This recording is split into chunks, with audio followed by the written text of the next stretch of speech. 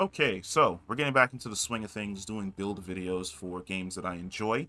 And this is a build video that I am really loving right now. And basically it centers around the glaive. Now, glaives were added in Destiny's The Witch Queen. The main one that you get is, of course, the Enigma. We're slowly working towards getting the exotic glaives by doing the investigation board at the main hub. However, my favorite build right now has to be the suppressive glaive build. Now, things that you're definitely going to need in this build are found in the artifact. The first one is uh, suppressing glaive, which essentially reads damaging combatants with your glaive suppresses them and prevents them from using abilities for a short time. Another great glaive ability is the unstoppable glaive which is glaives you wield fire a powerful explosive payload that stuns unshielded combatants, and it's strong against champions. Now, this isn't the core of the glaive build, and I'm going to break down what exactly the core of the glaive build is. Now, if you look at my Titan mark, I've got both. Oh, this. There we go. Suppressive Mastery and the uh, Suppressing Glaive talent. Now, what's one of these is supposed, there we go. Suppressive Mastery essentially increases the duration of your suppression effects. Of course, we have the Unstoppable Glaive talent on the arms itself, or if you run into uh, Unstoppable Champions, you're able to stun them and lock them down for a longer duration. Now, I could have sworn I had something else on here that I was, it's up here. The other ability that we are also using is Echo of Domineering. After suppressing a target, you gain greatly increased mobility for a short duration, and your equipped weapon is reloaded from the reserves. Now, how exactly does that work out? For a lot of people who are using the glaive, as you can see, you unlock an ability called, well, that's Unstable Essence. There we go, Domineering. Domineering allows you to move around extremely fast, and I absolutely love the speed. Not only does it give you this ridiculous speed boost, look how long that suppression lasts.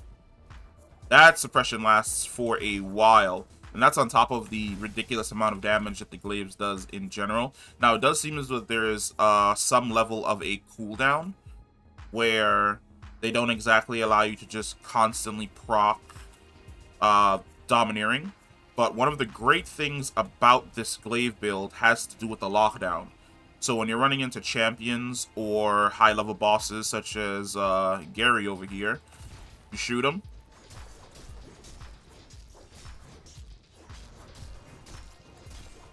And there's nothing they can do. What can you do? What can you do? When you're a boss, what can you do? And then, of course, you have Domineering to give you that extra movement speed, that quick reload.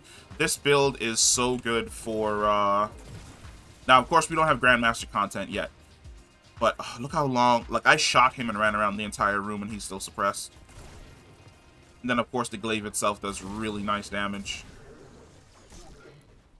But this build is extremely good. I've been taking it into uh, the exotic mission to get the grenade launcher. It does a fantastic job in there. It does a ridiculous amount of damage and it also allows you to suppress targets so that not only can you burst them down, but your teammates can also apply damage to them and aid you in bursting them down. But yeah, that is the essentially the, in my opinion, best suppression build in the game, and it completely revolves around the glaive. I'm gonna have a couple other videos, especially around the uh, the setup that I'm using for my Titan in general to essentially do a lot of solo content to as you can see I've already reached like 1557 I've got most of the exotics in the game currently and I'm just going to be going over uh, some super fun builds that essentially I have been enjoying. Another thing that you might definitely want to do in regards to your glaive is to use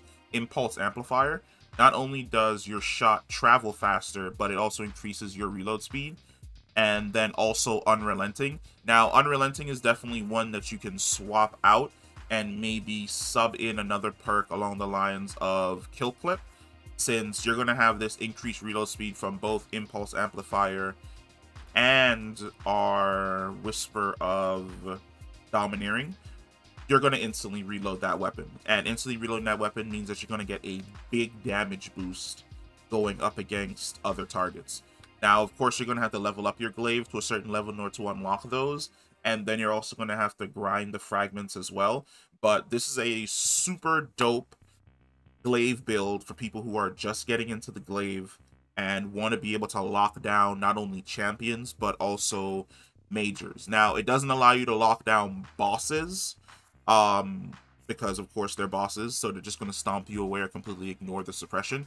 But if you're running into the Lucent Hive, which are the hive that have light base abilities, you are able to completely shut them down. Like no super, no ability spam, nothing. All they can do is just stand there and get thwacked in the face with your glaive. Uh, another great thing I've discovered is that the suppression also works on Hive Shriekers. So if you run into a Hive Shrieker and you take a shot, you're able to freeze the Shrieker and it will stop attacking so you can focus on other things.